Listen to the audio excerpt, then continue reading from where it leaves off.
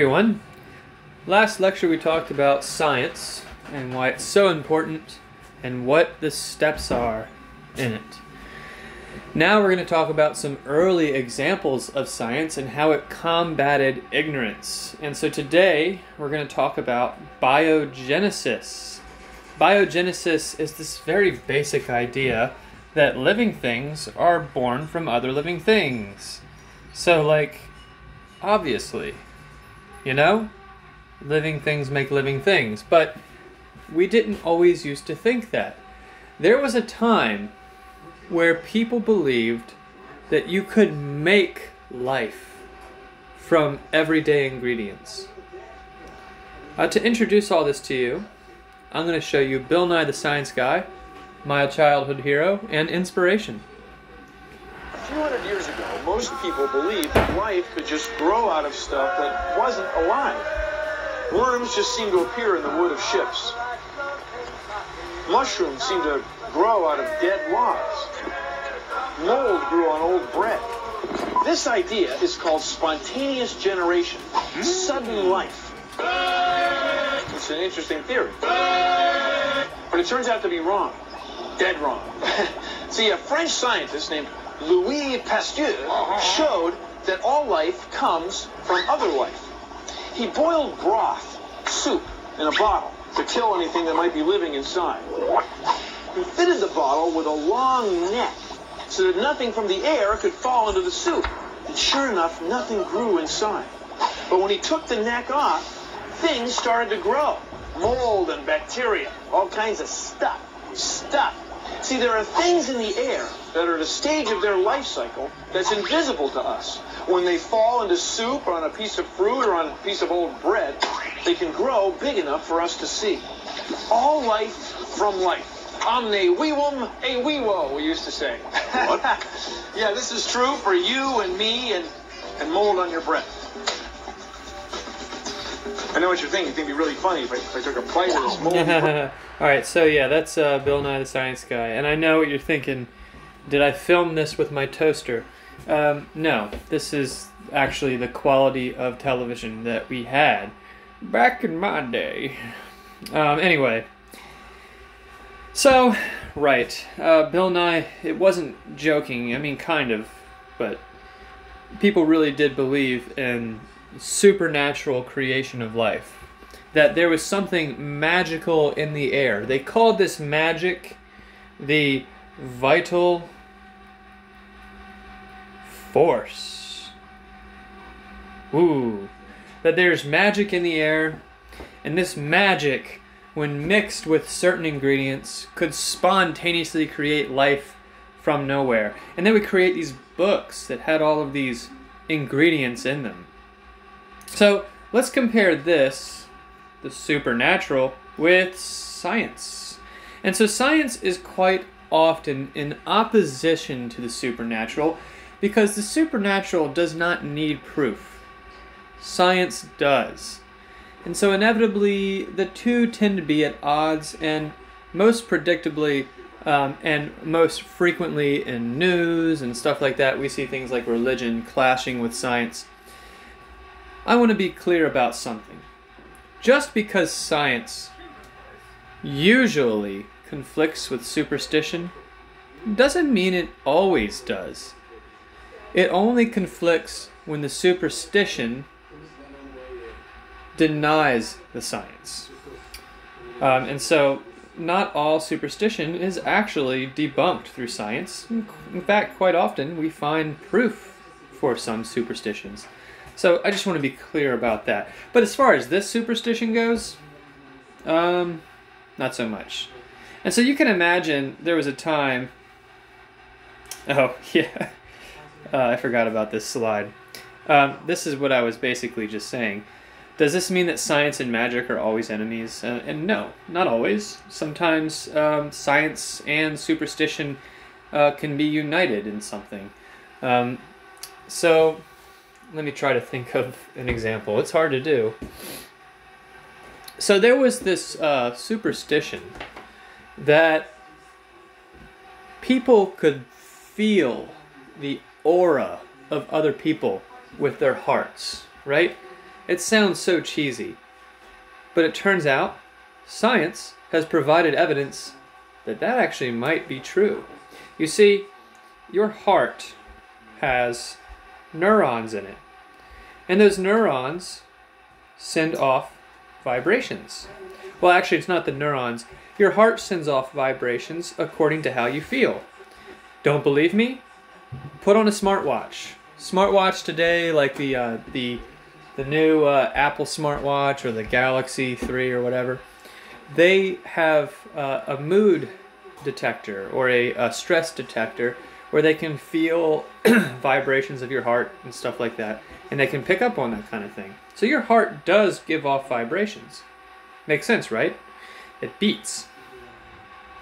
Turns out that other hearts actually have special receptors on them that can detect that. And so, the old superstition turns out to be true, according to science. And so, sometimes, science and superstition agree. I'm not calling them enemies. But in this case, they are. Because this is sort of what people thought, right? They thought they could have like a magic spell book. They called this alchemy, and they, they would have all these recipes in it, like they were some sort of summoner wizard or something, and they could just make life appear. And this was like a commonly held belief. And so, what kind of recipes did they have? Here's a great example. If you were to take dirty sheets and mix it with wheat and let it rest for 21 days, you would create with your magic mice. And so, uh, you know, I could see why people might think this, right?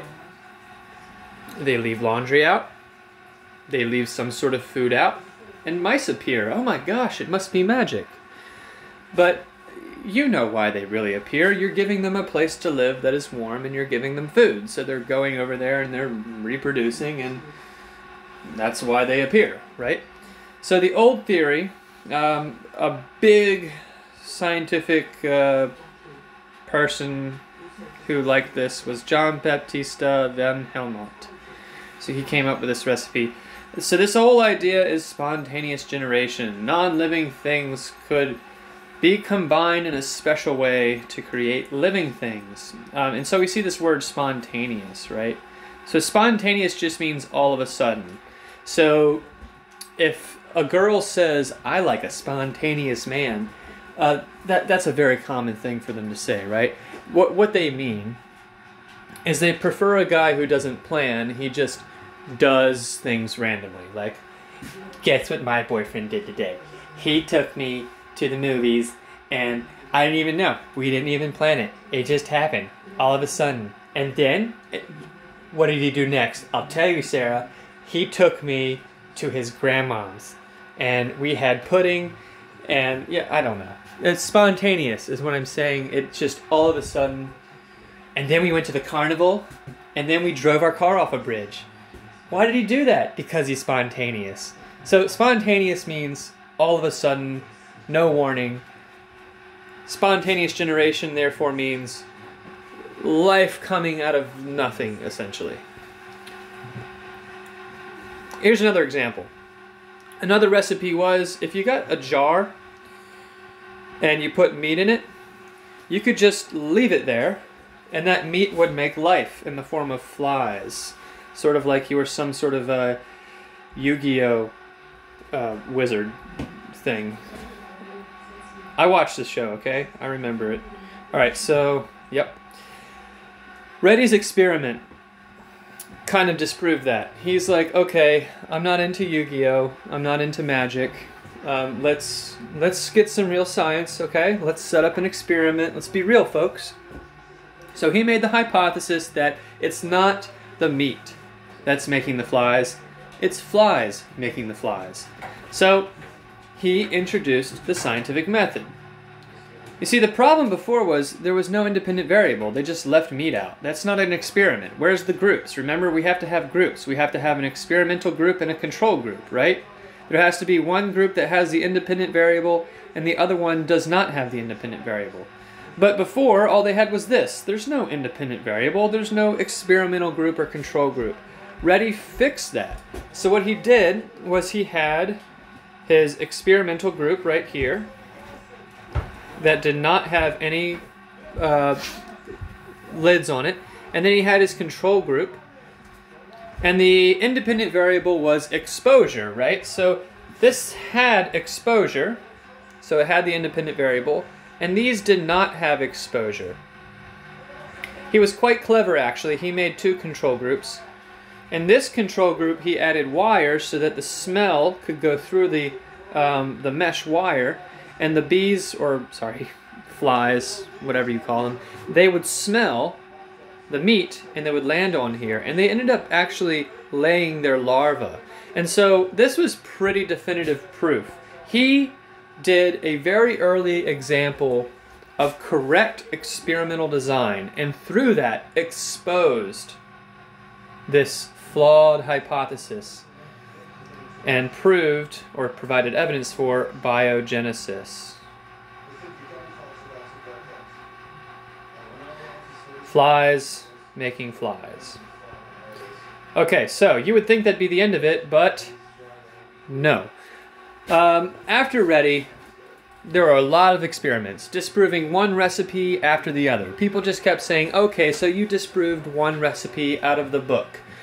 There's still plenty of other recipes.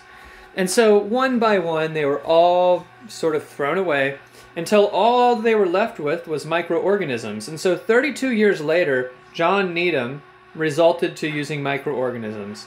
He thought he had it. What he did was he boiled broth. Now, broth is basically meat juice. You boil meat or whatever, and the, the proteins from the meat end up in the water, and that's the perfect food for microorganisms. So, what he did was he boiled it first to kill anything that might be in there.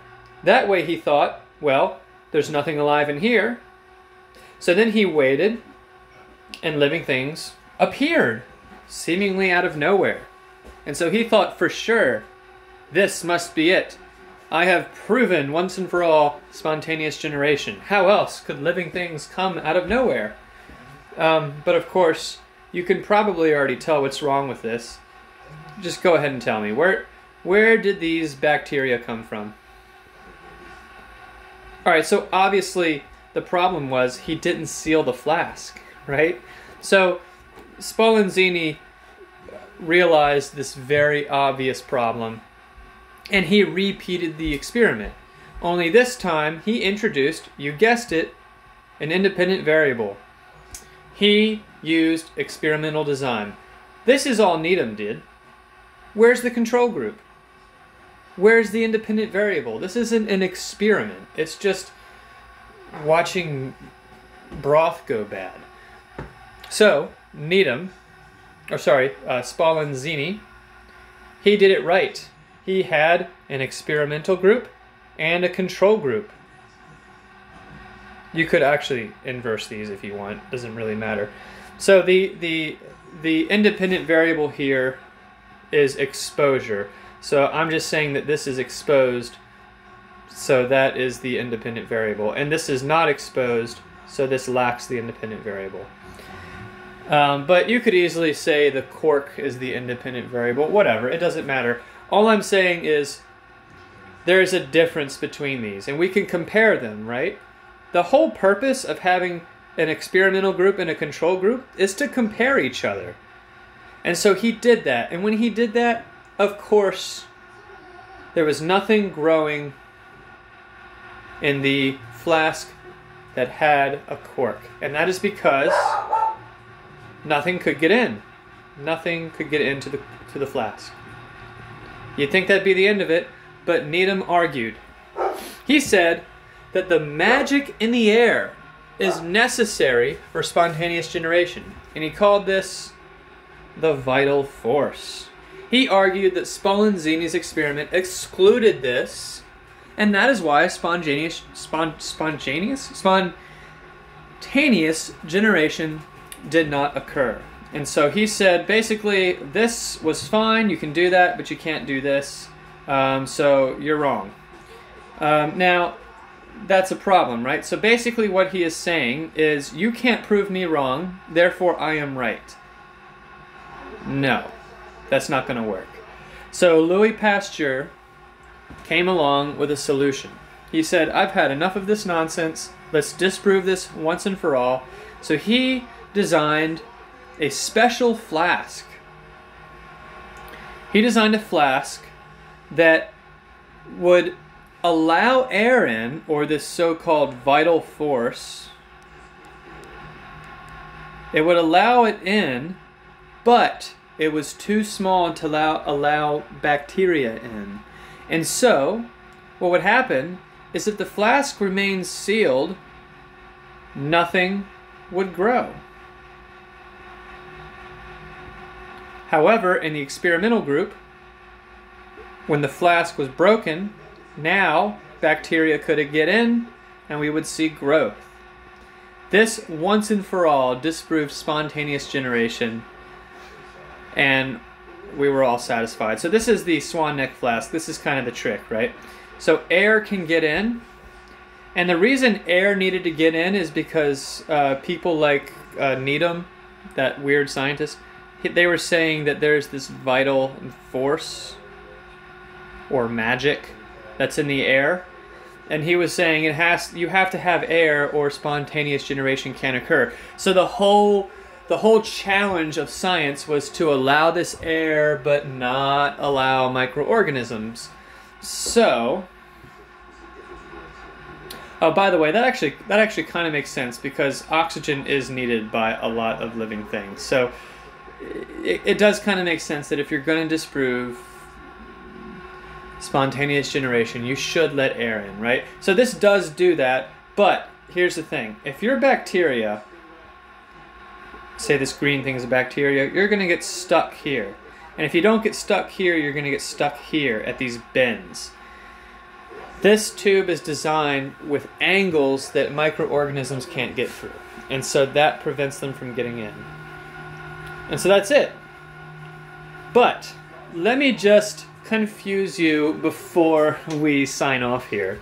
Um, I just told you a whole lecture about why spontaneous generation isn't real and everything is biogenesis. But then that begs the question, right? Where did the first living thing come from? And so, obviously, the first living thing had to come from non living things. So, at least once, spontaneous generation had to be true. There is a famous experiment by Miller and Urey. It's called the Miller-Urey experiment. Um, it was they were like college students, I think. I, I don't know if they were at Stanford. I can't remember the college. Very prestigious college. Um, and they did this experiment, and it sort of uh, became our most most well supported hypothesis for how life first began. So take a watch of this video. Stated Clearly presents What was the Miller Urey experiment? It was once believed that if you left food out to rot, living creatures like maggots and even rats would simply poof into existence. The idea was called spontaneous generation. A series of experiments starting in the 1600s disproved this idea, and in the 1800s, a new scientific law was proposed. Life only comes from life. It's true that rats, maggots, and even microbes are far too complex to simply poof into existence, but in 1859, English naturalist Charles Darwin put forth the theory of evolution. In it, he showed that under the right circumstances, relatively simple creatures can gradually give rise to more complex creatures. Given this information, serious thinkers began to wonder is it possible that simple life forms actually could come from non living matter? Not by poofing into existence, but through a natural gradual process similar to what we see in biological evolution. Darwin himself mentioned this idea when writing to a friend. But if and oh, what a big if, he wrote. We could conceive in some warm little pond, with all sorts of ammonia and phosphoric salts, light, heat, electricity, and so on present, that a protein compound was chemically formed, ready to undergo still more complex changes. In 1924, Russian biochemist Alexander Oparin published a book which he titled The Origin of Life. In it, he outlined his thoughts on a gradual progression from simple chemistry to living cells. He imagined the early ocean as a primordial soup, a rich collection of complex molecules produced by natural chemical reactions. In this soup, further reactions could take place, eventually producing living cells. At the time, Darwin's warm little pond and Oparin's primordial soup were really just speculation. They were founded on a good understanding of chemistry and biology, but they could not be considered legitimate scientific hypotheses because no one had found a way to test or observe them. Science, after all, is the study of observable facts and an ongoing conversation about how those facts can be best linked together. Chemical reactions like those proposed by Darwin and Oparin are not expected to leave an observable fossil record. Without either having fossils to examine or a time machine to travel back and observe what happened, how could scientists even begin to study the origin of life? In the 1950s, Stanley Miller, then a graduate student at the University of Chicago, came up with an idea. We could simulate early Earth conditions in the lab and then carefully watch what happens. If you can't study fish in the sea, set up an aquarium. Working with his professor, Harold Urey, Miller designed an apparatus to simulate the ancient water cycle. Together, they put in water to model the ancient ocean. It was gently boiled to mimic evaporation. Along with water vapor, for gases of the atmosphere, they chose methane, hydrogen, and ammonia.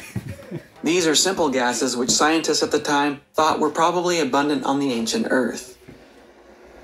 They added a condenser to cool the atmosphere, allowing water molecules to form drops and fall back into their ocean like rain. The ancient Earth would have had many sources of energy sunlight, geothermal heat, and even thunderstorms, so they added sparks to the atmosphere to simulate lightning. The goal of the experiment was not to create life, but to simply test the first step in Oparin's model.